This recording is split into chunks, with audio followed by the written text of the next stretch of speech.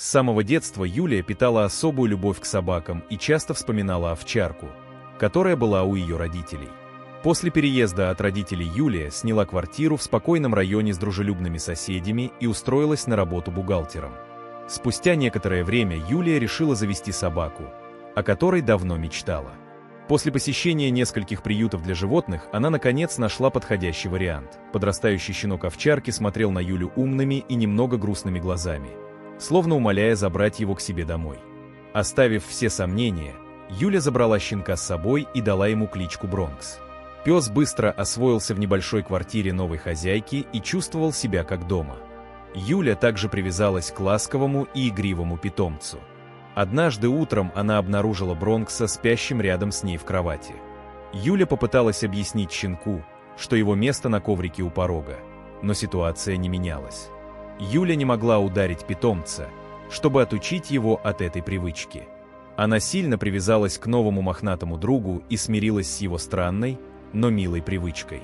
Все шло хорошо, и новые заботы не вызывали у Юли беспокойства. У девушки, ухаживающей за лохматым питомцем, появились некоторые проблемы со здоровьем. Поначалу она не придавала этому особого значения, считая, что это связано с ее рутинной работой.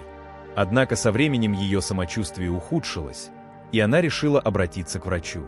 После осмотра и проведения ряда анализов врач не смог поставить точный диагноз. Однако он предположил, что у девушки может быть аллергия на шерсть питомца, который спит рядом с ней. По рекомендации специалиста, я назначила пациентке несколько препаратов для лечения аллергических реакций, а также рекомендовала минимизировать контакты с животным. По возвращении домой, обеспокоенная пациентка начала принимать назначенные препараты и настойчиво объясняла собаке, что ее место на коврике у двери. Через несколько дней пациентка почувствовала небольшое облегчение – а собака послушно спала в коридоре.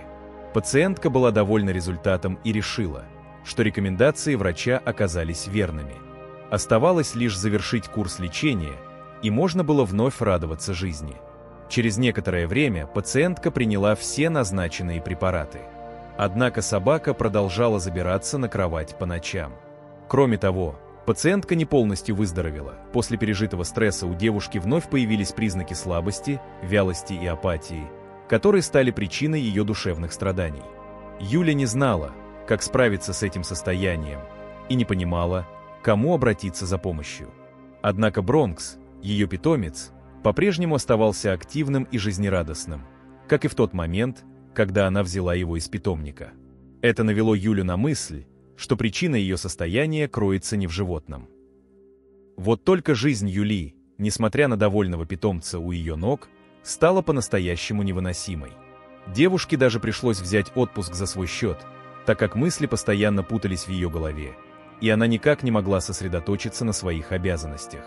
Когда Юля уже совсем отчаялась и с ужасом думала, что у нее может быть смертельная болезнь, к ней в гости зашел приятель, который работал ветеринаром. Увидев печальное состояние хозяйки и узнав, что все это началось после приобретения Бронкса, знакомый настойчиво посоветовал Юле привести собаку в его ветеринарную клинику, чтобы подтвердить или опровергнуть возникшие у него подозрения. Ситуация девушки была безвыходной, поэтому ей пришлось последовать совету ветеринара. Однако при внешнем осмотре Бронкса ничего не удалось обнаружить, поэтому у пса взяли несколько редких и довольно дорогих анализов – результатов которых пришлось ждать целую неделю. Эта неделя показалась ослабшей до невозможности Юли настоящим адом, а когда, наконец, результаты анализов были готовы, выяснилось, что у Бронкса нет никаких проблем со здоровьем. Раздался звонок от знакомого ветеринара. Она сразу же ответила на звонок.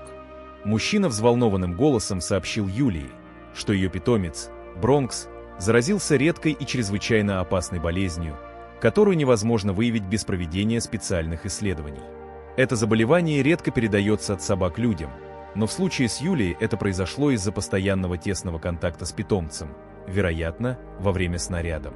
Ветеринар назначил Юлии и ее питомцу срочный курс мощных антибиотиков.